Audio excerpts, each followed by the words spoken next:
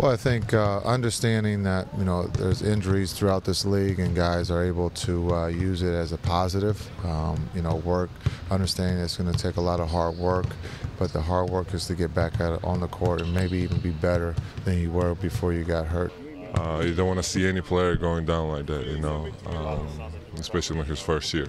And he was progressing every week, every month, you know, so it was great to see that. But yeah, well, he's like your little brother, you know. Uh, been 19, you know, asking a million questions, uh, trying to figure it out, um, you know, trying to get better each and every day. And with that being said, uh, you know, he, he's uh, he's getting better each and every week. Uh, we see it as teammates. Um, he's getting more and more comfortable with the NBA game. Uh, we see as teammates every day in practice, and obviously throughout the games. And so, for you to see that process to be stopped, you know, due to an injury, is just something that you don't want to see happen to anyone more than so, you know, a rookie who uh, who uh, you know has a huge impact on our team.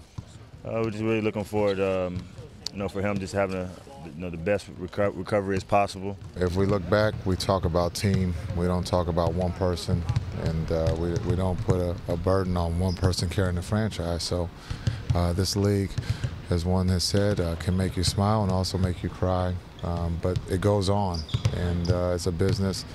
And so we have to go on and we have to continue to get better each time we take the floor.